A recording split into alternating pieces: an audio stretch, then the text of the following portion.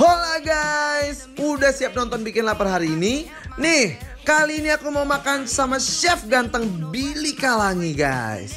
Siapkan segenap tenaga untuk santap makanan-makanan membuncah hari ini ya.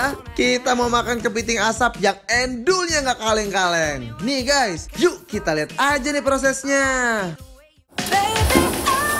Prosesnya yaitu pertama, masukkan bumbu rahasia ke dalam wajan. Kemudian masukkan kepiting yang sudah direbus, lalu langsung aja kita aduk-aduk sampai bumbu tercampur.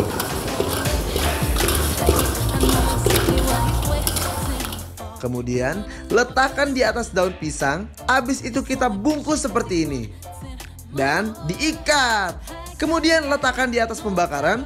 Setelah itu langsung aja guys kita bolak-balik biar matang merata.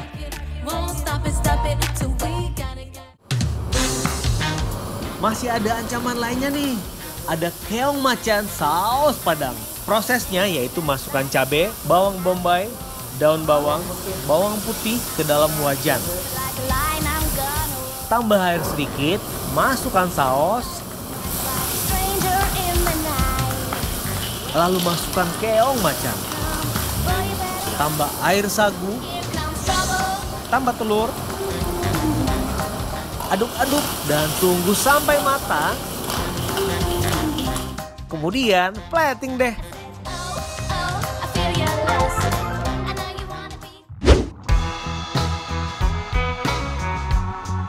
Hai guys, Bikin lapar, lapar terus. Wow, Atap kita lagi di mana nih Tap? Kita sekarang lagi ada di Bola Seafood Acuy yang berada sekali. di Gading Serpong. Wow, Wow, guys. Ini namanya kepiting asap guys. Oke langsung aja. Ini cap ini daging banyak banget guys. Kalian bisa lihat tuh. Tuh langsung gampang dibukanya. Tiga, dua, satu, krek.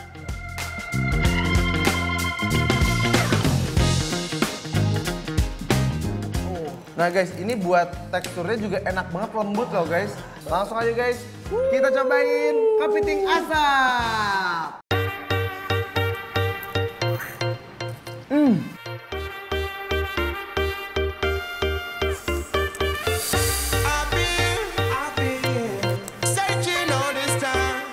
Enak banget dong guys. Hmm.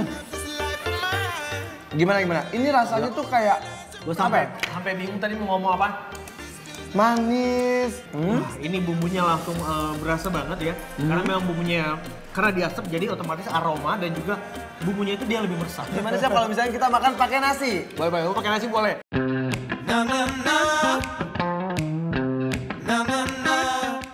Sikat ya, sikat ya. Langsung aja guys, kita Oke. hantam.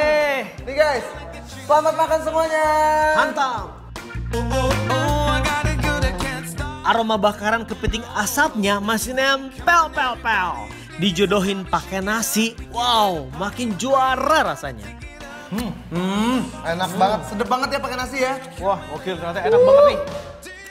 Bumbunya itu juga ngeresep nih guys. Ini bumbunya aja nih guys. Kita pakai nasi doang kayak gini udah enak Oh. banget. Sambal mama. Kita tuangkan di atas kepitingnya ini guys. Oh. Uh, nih.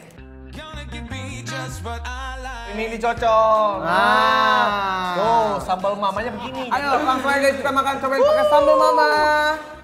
You got me. Uh, dia melejit di mulut guys. Sampai seambiar ambiar ambiar ambiarnya ini kepiting asap. Uh, wow. Oh. Ini serius, ini pedes teman, tenang aja. Nggak pedes-pedes terlalu banget ya, tapi ada seger-segernya. Jadi ada perasan dari jeruknya